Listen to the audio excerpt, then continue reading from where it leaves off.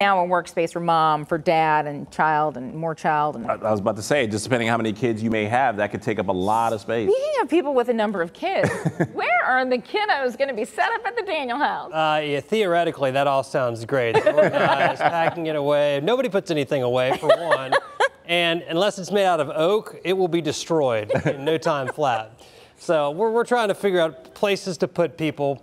Um, it's, it's challenging, but um, you know, we're making it happen. Outside right now, we have uh, mostly sunny skies, just a few fair weather clouds. It's 92, but it feels like 102. That is the current heat index. Temperatures range from the upper 80s to the low 90s at this hour. And again, when you factor in the humidity at other locations, it feels like it's in the upper 90s and low 100. Some of these heat index values are jumping off the charts here. 107 Kilmarnock, 107 in Williamsburg.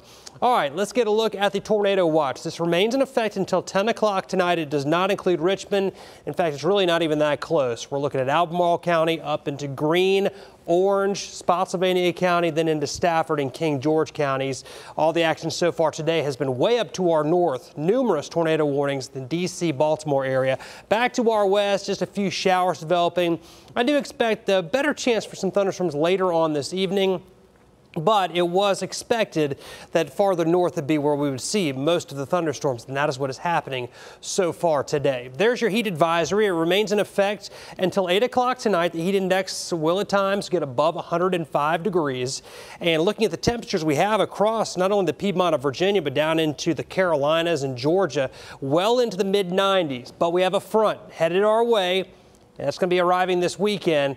And the air mass behind that front Highs only in the 60s and 70s. It won't be that cool here, but it will be a lot more comfortable than it is out there right now. All right, Nana, tropical depression over the border of Guatemala and Mexico. It'll continue to move out over the Pacific as it weakens. And then we have tropical depression Omar, and it will stay out over the open waters of the Atlantic. No issues with this system. All right, so let's check out the forecast moving forward with the one and only Mike Stone. Daniel, we have some showers and thunderstorms in the forecast. Again, most of the heavier ones are going to stay to the north, but as that little trough moves through, there will be the chance of a few scattered thunderstorms, even down the metro, through about 10, 11 o'clock this evening. That moves on through, and then as we go into tomorrow, we'll start off with temperatures 60s north and west, low and mid 70s elsewhere.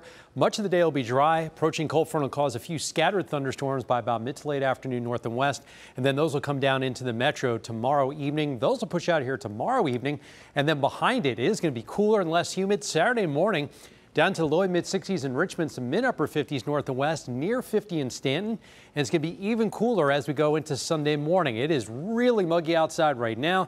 It's still going to stay pretty muggy tomorrow, just a tiny bit better. But then that front comes through. And this weekend is going to be delicious, as I like to say, because the air is going to feel fantastic. We're not going to have any chances of rain.